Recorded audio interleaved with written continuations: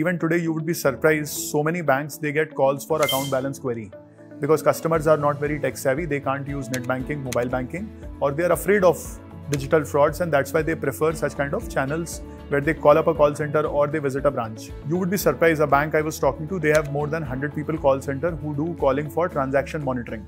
So if you do a high value transaction, some human calls you to verify the transaction. So a lot of scope of automation there. The other day I was visiting the office of one of our customers. They are a large bank. Roughly, you know, I saw 200 people on the floor who were doing data entry for the account opening form that is collected in the branch. In fact, I opened an account with a bank long back pre-COVID and this data entry person, somebody made an error and till date my email ID in that bank account is wrong.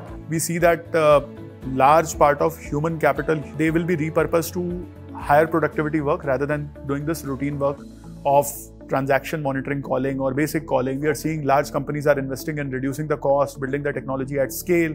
So the cost will go down and that will have a massive impact on the bottom line of financial institutions.